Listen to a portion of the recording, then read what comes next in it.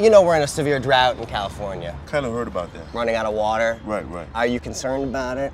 Very concerned. Because a lot of people don't realize how much uh, how much water it takes to make the foods that we have. Do you know how much water it takes to make one Frito?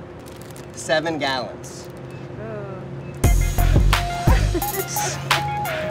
Do you know how much water it takes to make one tasty apple? I have no idea. Put the quarter in here. Yeah, turn it on. It actually takes 17 and a half gallons. There we go. This is making me thirsty. You can drink some if you want. I will hold off. Seven gallons, so it takes about 10 minutes. So just wait. Genuinely starting to feel guilty.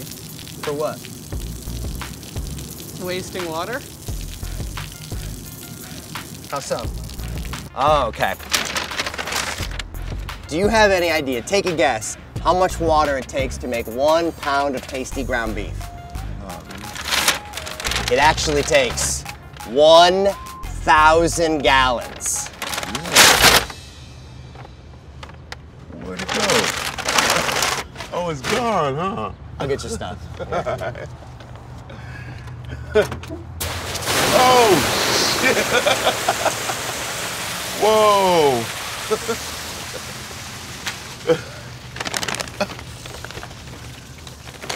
Ei.